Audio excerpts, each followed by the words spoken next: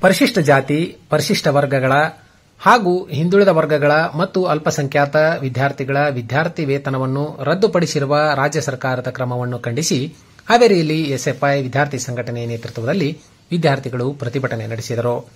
ನಗರದ ಸರ್ಕಾರಿ ಪದವಿ ಪೂರ್ವ ಕಾಲೇಜಿನಿಂದ ಹೊಸಮನಿ ಸಿದ್ದಪ್ಪ ವೃತ್ತದವರೆಗೆ ಪ್ರತಿಭಟನಾ ಮೆರವಣಿಗೆ ನಡೆಸಿದರು. ನಂತರ ಹೊಸಮನಿ ಸಿದ್ದಪ್ಪ ವೃತ್ತದಲ್ಲಿ ಕೆಲಕಾಲ ಮಾನವ ಸರಪಳಿ ನಿರ್ಮಿಸಿ ರಸ್ತೆ ತಡೆದು ಸಿದ್ದರಾಮಯ್ಯ ನೇತೃತ್ವದ ರಾಜ್ಯ ಸರ್ಕಾರದ ವಿರುದ್ಧ ಘೋಷಣೆ ಕೂಗಿ ಆಕ್ರೋಶ ವ್ಯಕ್ತಪಡಿಸಿದರು. ವಿದ್ಯಾರ್ಥಿಗಳ ವಿದ್ಯಾರ್ಥಿ ವೇತನ ಮಾತ್ರವಲ್ಲದೆ ಫೆಲೋಶಿಪ್ ಕೂಡ ಸರ್ಕಾರ ರದ್ದು ಮಾಡಿದೆ.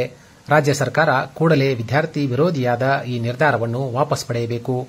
ಇಲ್ಲದಿದ್ದರೆ ಮುಂಬರುವ ದಿನಗಳಲ್ಲಿ ಉಗ್ರ ಹೋರಾಟ ರೂಪಿಸಲಾಗುವುದು ಎಂದು ಪ್ರತಿಭಟನಾ ನಿರತ ವಿದ್ಯಾರ್ಥಿಗಳು ರಾಜ್ಯ ಸರ್ಕಾರಕ್ಕೆ ಎಚ್ಚರಿಕೆ ನೀಡಿದರು. ಇದೇ ವೇಳೆ ಎಸ್ಎಫ್ಐ ಜಿಲ್ಲಾ ಸಹ ಕಾರ್ಯದರ್ಶಿ ಬಸವರಾಜ್ ಬೋವಿ ಮಾತನಾಡಿ, ಪರಿಶಿಷ್ಟ ಜಾತಿ, ಪರಿಶಿಷ್ಟ ಪಂಗಡ ಸಮುದಾಯದ ಹತ್ತನೇ ತರಗತಿ ವಿದ್ಯಾರ್ಥಿಗಳಿಗೆ ಈ ಹಿಂದಿನ ಆದೇಶದಲ್ಲಿ ಶೇಕಡಾ ಅರವತ್ತರಿಂದ ಎಪ್ಪತ್ನಾಲ್ಕು ಪಾಯಿಂಟ್ ತೊಂಬತ್ತೊಂಬತ್ತು ಫಲಿತಾಂಶದೊಂದಿಗೆ ಪ್ರಥಮ ಶ್ರೇಣಿಯಲ್ಲಿ ಪ್ರಥಮ ಬಾರಿಗೆ ಉತ್ತೀರ್ಣರಾದರೆ ಏಳು ಸಾವಿರ ರೂಪಾಯಿ ಪ್ರೋತ್ಸಾಹಧನವನ್ನು ಸಮಾಜ ಕಲ್ಯಾಣ ಇಲಾಖೆ ಮೂಲಕ ಕೊಡಲಾಗುತ್ತಿತ್ತು.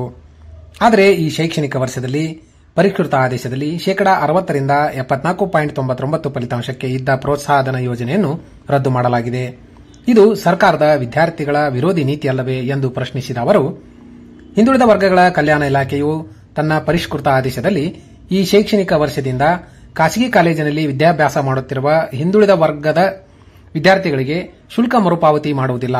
ಸರ್ಕಾರಿ ಕಾಲೇಜುಗಳಲ್ಲಿ ವಿದ್ಯಾಭ್ಯಾಸ ಮಾಡುವ ವಿದ್ಯಾರ್ಥಿಗಳಿಗೆ ಮಾತ್ರ ಶುಲ್ಕ ಮರುಪಾವತಿ ಮಾಡಲಾಗುತ್ತದೆ ಎಂದು ಹೇಳಲಾಗಿದೆ.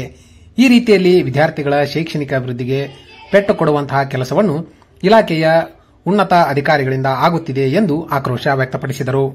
ಅಷ್ಟೇ ಅಲ್ಲದೆ ಅಲ್ಪಸಂಖ್ಯಾತರ ಕಲ್ಯಾಣ ಇಲಾಖೆಯಿಂದ ಈ ಹಿಂದೆ ಅಲ್ಪಸಂಖ್ಯಾತ ಸಮುದಾಯದ ವಿದ್ಯಾರ್ಥಿಗಳು ಪಿಎಚ್ಡಿ ಮಾಡಿದರೆ ಅವರಿಗೆ ಸರ್ಕಾರ ಪ್ರತಿ ತಿಂಗಳು ಇಪ್ಪತ್ತೈದು ಸಾವಿರ ರೂಪಾಯಿ ಹಣವನ್ನು ಫೆಲೋಶಿಪ್ ಆಗಿ ಕೊಡುತ್ತಿತ್ತು.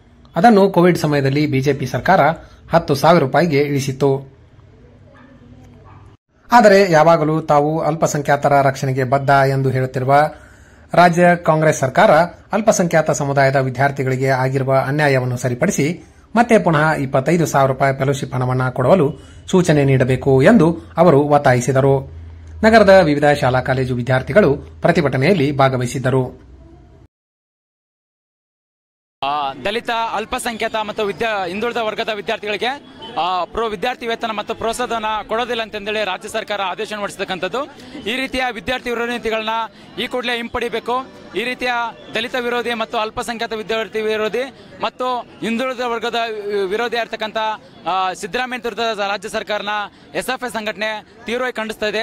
ಈ ಕೂಡಲೇ ಬಾಕಿ ಇರ್ತಕ್ಕಂಥ ಎಲ್ಲ ವಿದ್ಯಾರ್ಥಿ ವೇತನ ಬಿಡುಗಡೆ ಮಾಡಬೇಕು. ಒಂದು ವೇಳೆ ಬಿಡುಗಡೆ ಮಾಡಲೇ ಆಗ್ಲದಲ್ಲಿ ವಿದ್ಯಾರ್ಥಿ ಎಸ್ ಎಫ್ ಐ ನೇತೃತ್ವದಲ್ಲಿ ಸಾವಿರಾರು ವಿದ್ಯಾರ್ಥಿಗಳು ಬೀದಿಗಿಳಿದು ರಾಜ್ಯ ಸರ್ಕಾರನ ಉಳಿತಕ್ಕಂಥದ್ದು ಮಾಡಲಿಕ್ಕೆ ಮುಂದಾಗ್ತದೆ.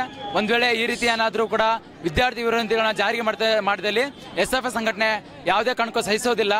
ಈ ಕೂಡಲೇ ಪಿ ಎಚ್ ಡಿ ವಿದೇಶದಲ್ಲಿ ಅಭ್ಯಾಸ ಮಾಡ್ತಕ್ಕಂಥ ಪಿ ಎಚ್ ಡಿ ವಿದ್ಯಾರ್ಥಿಗಳಾಗಿರ್ಬೋದು, ಇಲ್ಲಿರ್ತಕ್ಕಂಥ ದಲಿತ ಅಲ್ಪಸಂಖ್ಯಾತ ಹಿಂದುಳಿದ ವರ್ಗದ ಎಲ್ಲ ವರ್ಗದ ವಿದ್ಯಾರ್ಥಿಗಳು ಏನೋ ಸ್ಕಾಲರ್ಶಿಪ್ನ ಬಿಡುಗಡೆ ಮಾಡಬೇಕು. ಯಾವುದೇ ಥರದ ವಿದ್ಯಾರ್ಥಿಗಳಿಗೆ ಅನ್ಯಾಯ ಆಗ್ಲಿ ನೋಡ್ಕೋಬೇಕಂತ ಈ ಮೂಲಕ ಆಗ್ರಹ ಮಾಡ್ತದೆ